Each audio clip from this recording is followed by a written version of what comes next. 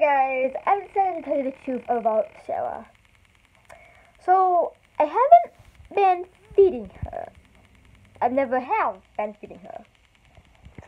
And that is because before I even started my YouTube channel, there was something wrong with her.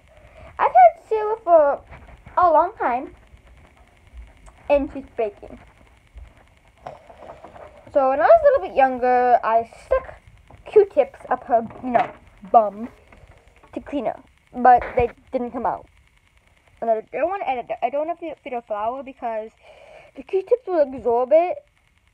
It's in her bum, and it'll rot. And I don't want her rotting because she's already broken. Before I stuck, stuck Q-tips in here, she's breaking this a little bit. So I haven't been feeding her, but I do feed her like a little bit, but like like flour. No, not flour. Um, like lotion stuff. Oh, here she is. So yeah, I haven't I haven't feed. I don't, I don't feed her I don't want her.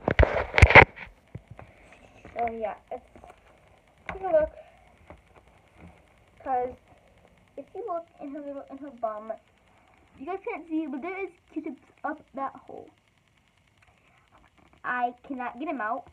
I've looked on YouTube how to open your Baby Alive. I've, I've even unscrewed this, but it was nothing there. Yeah, it's, it's just hopeless for her. So I try.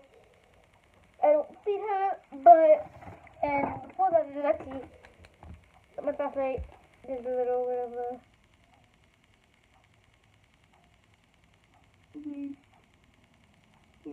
see, but I, I, I need use tweezers. You guys can't see it, but if you guys use look.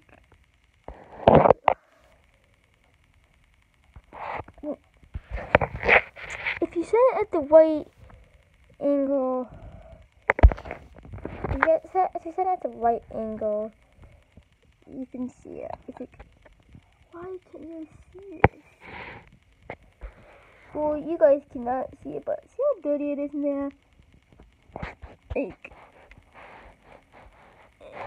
so yeah. Hi, Mama. Good.